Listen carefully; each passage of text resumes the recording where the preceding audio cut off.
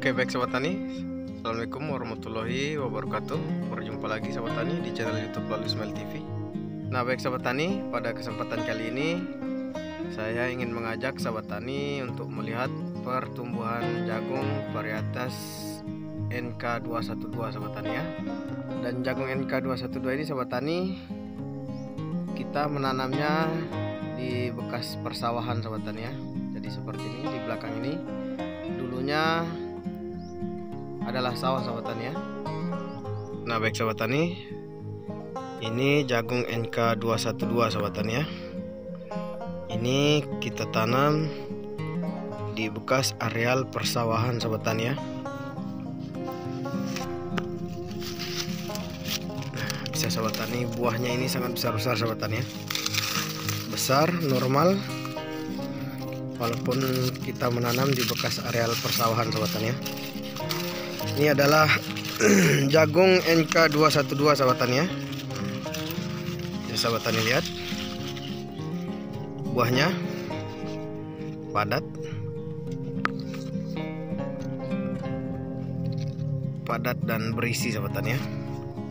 Dan ini merata sahabat tani ya. Mari kita lihat, kita keliling-keliling.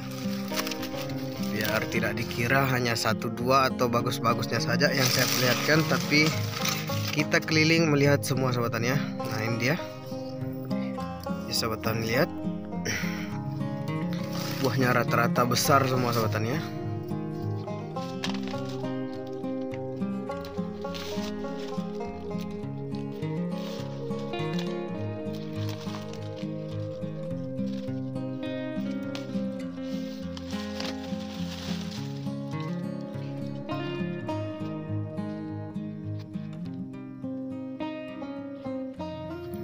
dan ini penanamannya jaraknya itu biasa sahabatannya bukan jarak legowo tapi jaraknya itu biasa. Nah, bisa sahabatan lihat buahnya ini. Sangat besar-besar sekali. Ya inilah keunggulan jadi dari bibit NK212 ini sahabatannya bisa bertahan tumbuh di medan apa pun sahabat tani ya mungkin di video sebelumnya sahabat tani melihat atau sahabat tani mungkin ada yang belum menonton di video sebelumnya. Pertumbuhan jagung NK212 di bawah pohon kelapa sahabat tani ya.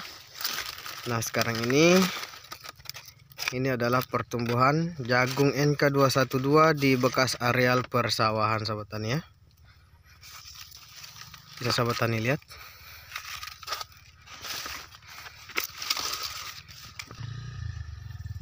bisa sobat tani lihat. Ini buahnya. Sangat besar-besar sobat tani ya. Padat dan merata sobat tani. Nah, kita keliling ke arah sini. Di belakang tanggul. Jadi ini bekas pematang sobat tani ya. Bekas pematang persawahan dulu. Jadi ini menandakan bahwa ini adalah betul-betul bekas persawahan dulu tani ya. Nah dan ini salurannya. Ini mungkin sekitar tiga atau empat hari lagi kita akan melakukan proses pemanenan sahabatan ya Insya Allah nanti kita akan lihat bagaimana prosesnya. Nah. Nah kalau sahabat tani mau pesan bibit NK12 via online juga bisa sahabat tani ya Mungkin bisa dihubungi nomor yang di bawah. Ada tertera nomor di bawah ataupun di deskripsi ada. Itu aman dan terpercaya sahabatan ya karena ini bibitnya ini saya pesan secara online sahabatan ya karena kebetulan di tempat saya sudah habis sudah kosong.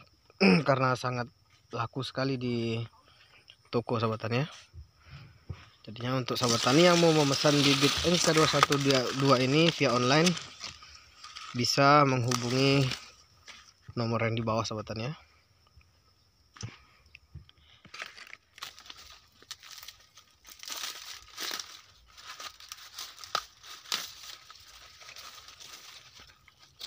Nah baik sahabat tani, mungkin itu saja informasi dari saya tentang pertumbuhan jagung bibit NK212 ini.